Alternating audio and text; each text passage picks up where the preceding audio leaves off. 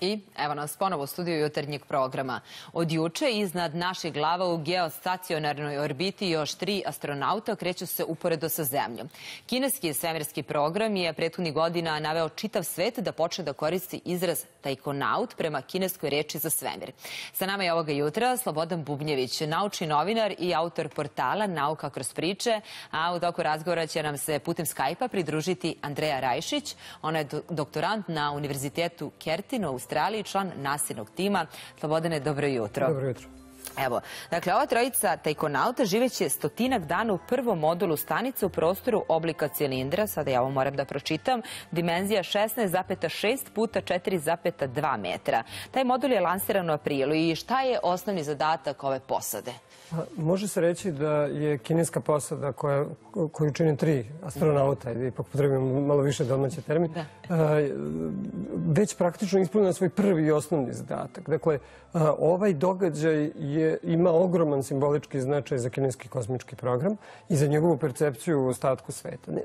Nezahvalno je reći što čak i naša štampa je pojurila odmah to da kaže da ovo sad govori o preuzimanju ili primatu Kine u svemiru. Dakle, neprikosnovena je pozicija Sjedinjenih američkih država u tom, toj takozvanoj kosmičkoj trci i njenih saveznika, dakle, a s druge strane i Ruske federacije, ali bi se moglo reći da je Kina pokazujući da može da ne samo lansira modul buduće svemirske stanice, nego i da ga nastani, zapravo pokazala da je njen kosmički program u ovom, u ovom trenutku odrastao. Podsjetit ću da u poslednjih šest meseci, dok smo se bavili izlaskom iz pandemije, je Kina uradila dva velika poduhvata u svemiru. Dakle, spustila je rover na, na Mars koji nam je poslao svoje sobstvene fotografije, bez one PR pompe kakvu imamo jel, kad gledamo američke rovere koji sleću, a s druge strane uradila je jednu na izgled jednostavno, zapravo vrlo zahtevnu operaciju slanja modula na mesečavu površinu koji je zapravo vratio uzorke odande. Dakle,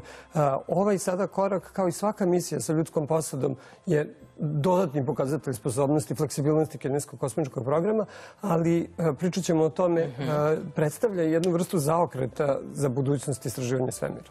A šta znamo o toj kineskoj svemirskoj stanici? Pa ovako, ove dimenzije koje ste pročitali u mhm. stvari najviše podsjećaju na jedan gradski autobus, beogradski, dakle to je ta... To je ta neka dimenzija, dobro. Da, i u tom modulu, dakle to, je, to će zapravo biti centralni modul buduće stanice i iz onog iskustva koje mi koji posmatramo zapravo šta se događa u, u različitim kosmičkim programima u prošlosti, znamo, dakle, kada je građana Međunarodna svemirska stanica, ona je građana modularno, dakle, tako što su različiti delovi kroz niz godina zapravo sklapani, slati i povezivani i tako je napravljena jedna velika modularna struktura i očigledno je da Kinezi idu istim tim putem i mi smo videli zapravo kako je Kina u svim prethodnim etapama dakle, svog kosmičkog programa koji drži dosta skrovito u odnosu na to kako zapadni kosmički programi izgledaju, zapravo išla korak po korak ostvarujući napredak u onim oblastima koje su na neki način već postignute. Sad se zapravo i njihov kosmički program nalazi pred nekom vrstom novog prostora, dakle neke nepoznanice. Dakle, ovo će biti jedna nova, drugačija svemirska stanica i ono o čemu bismo mogli ozbiljno da razmišljamo jeste što je Međunarodna svemirska stanica u kojoj participiraju zajedno i Sjedinjene države, Ruska federacija, evropski partneri, kanadski partneri i tako dalje, da je njen rok života orožena još samo dve i po godine. tako da je, postoji mogućnost da ćemo uskoro iz naših glava na 380 km od površine zemlje imati samo kinesku kosmičku stanicu. Dakle, to je jedna budućnost svemira kako možda nismo očekivali. Da. A kakva je namena tog modula svemirske stanice Tiangong, tako se zove? Da. da? dakle, taj konkretno modul je centralni modul same stanice. U njemu postoje prostorije za život astronauta. Dakle, na njega će se povezati ostali moduli gde se nalaze dve prema planu, kako smo to imali prilike da vidimo. Ovaj, povezat će se dve laboratorije značajne, dakle čak će i sama stanica biti opremljena jednim teleskopom Hubbleovog tipa, što, je, što ukazuje zapravo i na namere Kineza, dakle da ovde potenciraju pre svega naučna istraživanja, ali s druge strane vrlo je jasno da ovo govori o tome da su sposobnosti kineskog kosmičkog programa takve da oni mogu da ostvare tu jednu vrstu dugoročnog trajnog prisustva. Podsjetit ću zapravo da u onoj staroj hladnoratovskoj eri kada su se nadmetale Sjedinjene države i Sovjetski savez, situacija je bila takva da su se u jednom trenutku posle Apollo misija Amerikanci opredelili zapravo za razvoj shuttle tehnologije, dakle koju se sećamo, kako je to sve izgledalo, dok su Sovjeti počeli da grade svoju prvu kosmičku stanicu Mir. Dakle, i na tom nasledđu je napravljena Međunarodna svemirska stanica. Sad vidimo kako jedna potpuno nova nacija u svemiru nastavlja tu vrstu tradicije i gradi svoju sobstvenu svemirsku stanicu. E, nastavit ćemo razgovor, ali da čujemo Andreju Rajšić. Ona je član nasinog tima koji istražuje Mars. Andreja, dobro jutro. Dobro jutro. I za... dan. Tako je. Zašto da. Međunarodna svemirska stanica više nije dovoljna za svemirske sile? To je zajednički poduhvat NASA, Roskosmosa i Evropske, Japanske i Kanadske svemirske agencije. Zašto tamo nema Kine? Pa još u aprilu 2011. godine Kongres Sjedinjenih američkih država je zabranio nasi da ulazi u bilo kakve bilateralne sporazume sa Kinom. Tako da je Kina tu morala da napravi sobstvenu neku, nekakav sobstveni svemirski program. I, I Kina i ne krije previše svoje ambicije u svemiru, pa opet ne znamo mnogo o tome. Pre dve godine su poslali rover na udaljenu stranu meseca. Mi je zovemo tamna strana, valjda zbog Pink Floyda i duge tradicije tog termina. Na Marsu je još jedno kinesko vozilo bez posade. Kakve su im namere i koliko su spremni da sarađuju sa NASA-om? Pa ono što ja mogu da kažem iz našeg iskustva, pošto ja radim na Insight misiji nasinoj, a, kada je a, jedan sletao na Mars, nama je bio potreban datum sletanja da bismo znali da uključimo seizmometar i da pratimo sletanje, da vidimo da li ćemo ga detektovati. Međutim, mi te podatke nismo dobili. Dakle, sve što smo želeli da saznamo vezano za sletanje kineskog rovera na Mars smo morali preko Twittera da saznamo. Mm -hmm. Dakle, nisu hteli sa nama da dele nikakve informacije.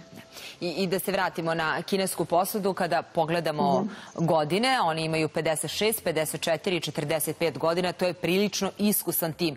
Da li su i astronauti drugih zemalja u tim godinama ili su mlađi i, i zašto je to tako? Pa ja mislim da je neka srednja, srednja godine u, u astronauta su oko 42 za žene i 44 za muškarce. Tako da a, nije to pretarano mnogo starije od, od generalnog, jer kada vi pogledate da bi neko postao astronautom, prvo mora da završi jako dug proces obrazovanja, a onda potom još 8 do 10 godina pripreme za, za boravak u svemiru. Tako da to je negde meni nije iznenađujuće. I, I Andreja, e, trojica tajkonauta će naredna tri meseca osposobiti svemirsku stanicu Tiangong za naredne poduhvate. Kakvi su planovi Kine u svemiru? Kakvo je tvoje mišljenje? Pa, e, planovi Kine kao u svemiru e, su da manje više ovaj, radi um, analizu uzoraka uh, tamo, dakle da radi eksperimente u svemiru, uh, umesto tih, povra, uh, pošto te a, misije koje se šalju da vraćaju uzorke iz svemira su jako skupe, tako da svako želi, mislim ono kao i Kina i Amerika, svi žele da omoguće ispitivanje uzoraka u samom svemiru. Hvala ti mnogo na ovom uključenju za jutarnji program. Čuli smo Andreju Rajšić i evo, Hvala kako, da li bi ti podelio njeno mišljenje i da zaključimo cijelu ovu priču o budućnosti Kine u svemiru?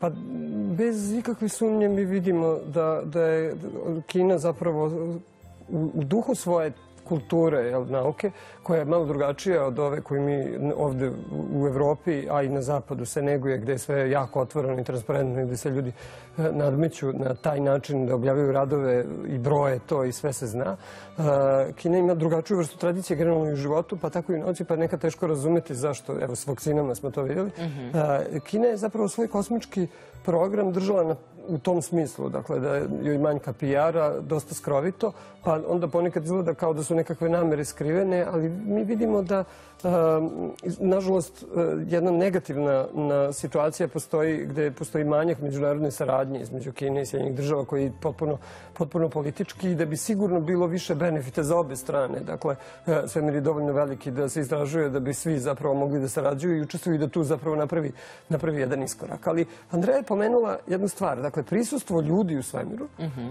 dramatično menja sposobnosti jednog kosmičkog programa. Dakle, e, izgradnja svemirske stanice, iako je čak i to malo pre sam pomenuo, tokom hladnoratovske ere se činilo da možda nije nužno ljude nastanjivati u orbiti, a, a Sovjeti su to smatrali kao bitnim, se pokazalo centralnim zapravo za gotovo sve druge, sva druga kosmička istraživanja. Dakle, vi s jedne strane možete da iskoristite, evo, na primjer, Kinezi su već najavili da će u svojoj stanici raditi neke istraživanja lekova za borbu protiv raka.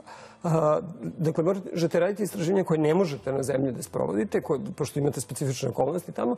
S druge strane, a, kosmičke stanice, to je Međunarodna svemirska stanica bez pogovora pokazala, omogućuju da se pripreme druge misije i ono što je, kako bi rekli, centralna, centralna želja jel, Sjedinjenih američkih država kad govorimo o svemiru, a to je osvajanje Marsa, dakle sletanje na Mars, vi tamo čak kad odu u kongres i pokušavaju da dobiju novac za nasu, dakle glavna tema i glavno pitanje koje će dobiti koliko bilo koji poduhvat omogućuje Amerikancima da jednog dana stignu na Mars. Jer to je glavno, Amerikanci su jako fascinirani samim Marsom.